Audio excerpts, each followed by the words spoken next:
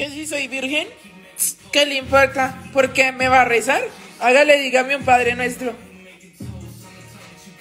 Métaselo por el culo y grita. Parce, la razón es una boleta. Pues ustedes saben que a mí me borraron resto de mierdas por mi vocabulario, pero lo último que borraron fue una foto que subí y yo escribí ¿Quién pa' culiar? pero era por molestar y me la borraron disque por ofrecer servicio sexual. Pillen que hace poquito me acordé. Y cuando yo era pequeñito fui a sacar al perro y vi un montón de gente reunida en la avenida y yo, ay, voy a echar chisme. Y era mi hermana que la habían atropellado. Era mi hermana que la atropelló un sitio y yo, Angélica. Esas preguntas tan huevonas. Amor, es la verdad, es que mi verdadero nombre es Henry. Esa pregunta, ¿es en serio? Pues me llamó Juan David porque creía que era el Juanda. ¿Juan David vivienda? Ay, puta. Yo no sé, pero pues yo lo dejo. Por algo Dios me dio piernas, ¿no?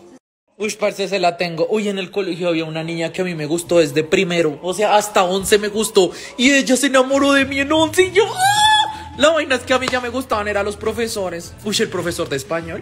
Ay, no, estás re paila. Miren que una vez el perro que yo tenía me mordió el brazo y me mordió re duro. Y yo me tiré al piso porque me estaba desmayando y estaba todo lleno de sangre. Y mi mamá entró a la casa y dijo, David, ¿qué hizo? Porque pensaba que yo me había cortado. Y yo, mami, me mordió el perro. Me hicieron. Mi mamá es una boleta.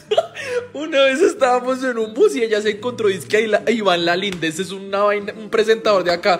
Y ella, Iván Lalinde, y el man, ¿de quién es vieja de puta? Uy, ¿saben qué? Sí extraño resto a lo bien del anterior cuenta, el arroba.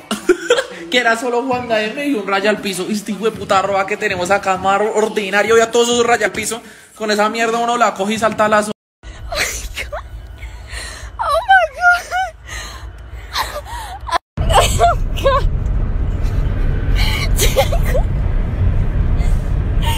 you?